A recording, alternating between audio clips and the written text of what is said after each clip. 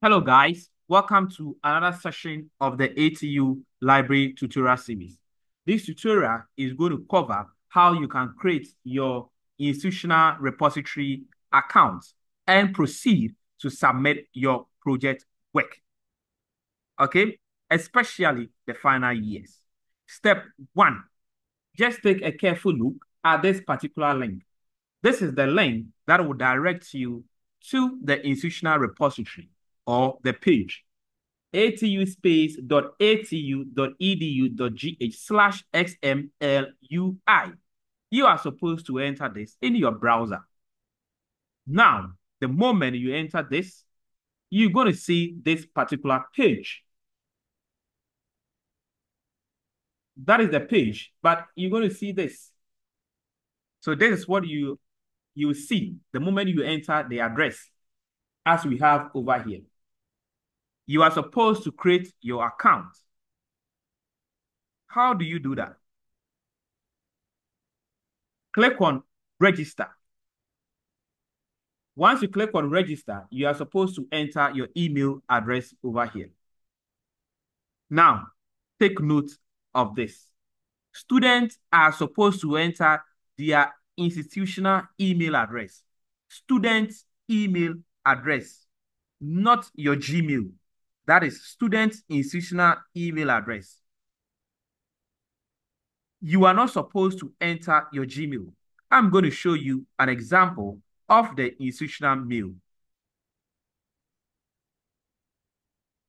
So this is what we call ATU's institutional mail for students. You are supposed to create your account using this. Now take a careful look at this particular file. You realize that they are in group doing the project work. The first person should be the one to create the IR account. So the first person, as shown over here, should be the one to create the IR account. We are not expecting that all the group members to create the IR account. No. Only one person will be given that access to submit the file on behalf of the others. So one person and that person should be the first name on the list. That is what the faculty library rep will be using. Good.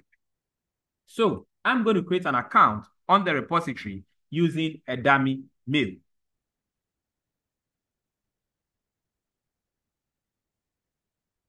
All right, so I'm going to use this particular mail.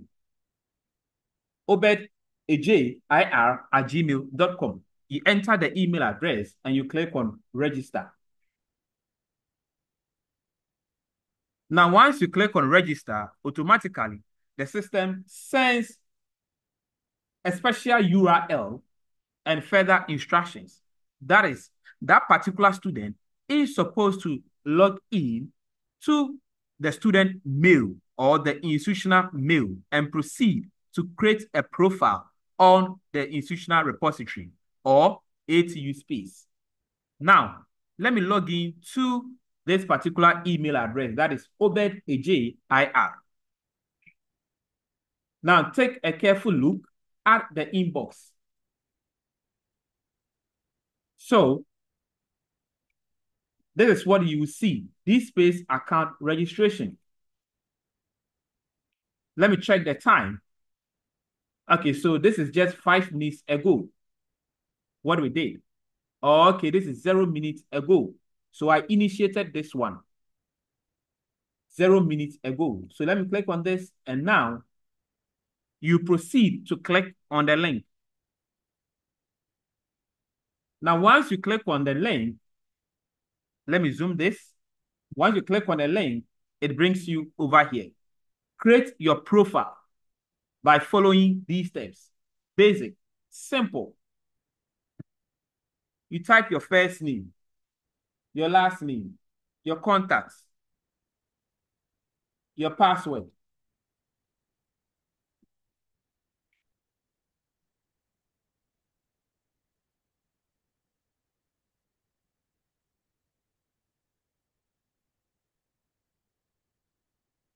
So that is my password.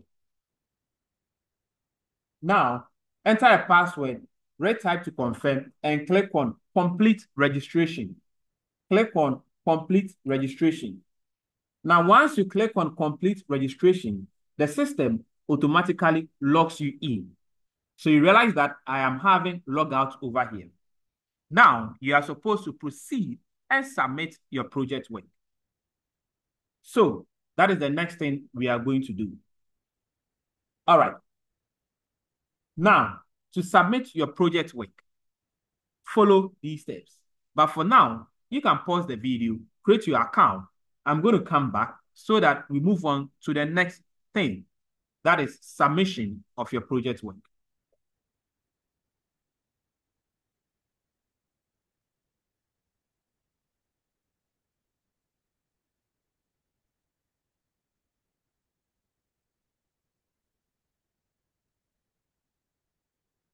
So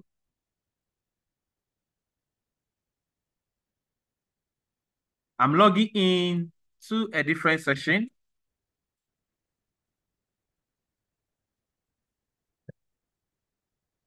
Okay. So to submit your project work, you are supposed to log in. Good. So once you log in, you see log out over here. So you are supposed to log in before you can submit a project work. When you log in, search for thesis slash project work. Click on thesis slash project work. Now search for your department over here. For demonstration purpose, I'm going to use Department of Accountancy and Finance. I'm going to click on the department. Now you search for your supervisor over here. Note you can only submit the Word file of your project work, not PDF. And you can only submit under the supervisor that you have been mapped under by the faculty library rep.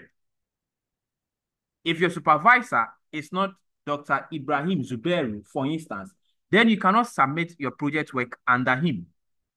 To submit your project work, search for the supervisor or search for your supervisor and click on his or her name. So my supervisor is Dr. Zuberi. Now, click on the session that you belong to. Is it BTech or HND? We have BTech 2024. We have HND 2024. Let's use HND for an example. We are using HND just as an example. So you can also, if you're a BTech student, then you can click on BTech. So for demonstration purposes, we're clicking on each HND. Let me zoom this. Students are supposed to see this, submit a new item to this collection before they can proceed to submit their work. If you don't see this link, it means that you have clicked on a wrong supervisor or you are logged out or you are not doing the right thing. So I proceed to click on submit a new item to this collection. Now we are going to submit this particular project work. So you open your project work. The first field that we are seeing over here is saying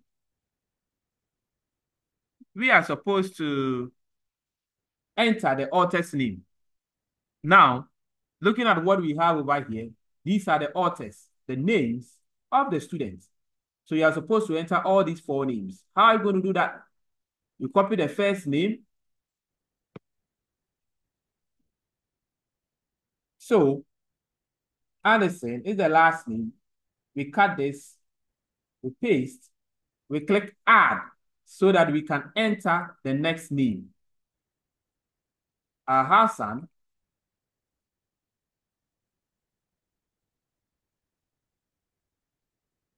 So we cut this, then we paste.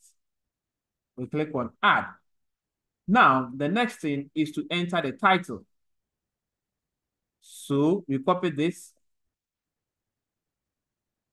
Then we paste. You don't provide any information over here, other titles. Year 24, September, sorry, November Publisher, nothing. Citation, nothing. Serial, nothing. You don't select anything over here. type, you scroll down, you select thesis. Language, you select English. You click on next. You don't provide any information over here. You click on next. At this point, you are supposed to select the file. That is the Word file, not PDF. Please take note. Microsoft Word. We click on choose file. We select our file. Then we click on next. This side, you are supposed to review your documents. If you have any problem with the names that you provided, you click on correct one of these. If it's a title two, you click on correct one of these so that you go back and correct it. You don't have anything to do over here. If the file uploaded was the wrong one, you click on correct one of these and upload the correct file. If everything is okay, you click on next. Now you scroll down and you are supposed to click on I grant the license. At this point, it means that the submitter takes full responsibility of the submission. Should in case there is any problem, you can be called. All right. Once you are done or checking this box, you click on complete submission. Once you click on complete submission, you are done. Do not submit another item. You are supposed to wait for the system to either approve or reject your work. Please take note of this.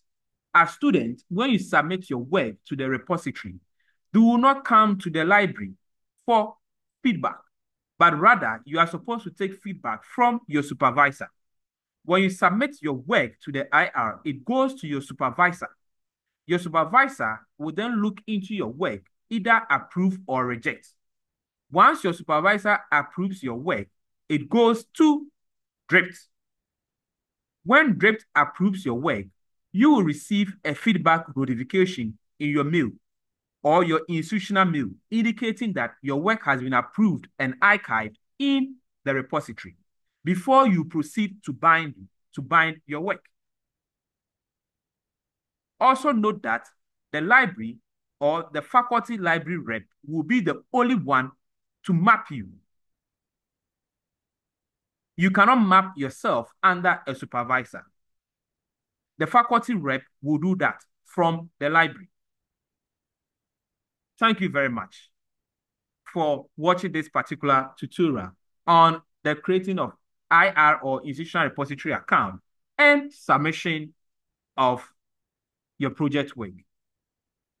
Thank you. If you have any question, you can drop it in the comment section.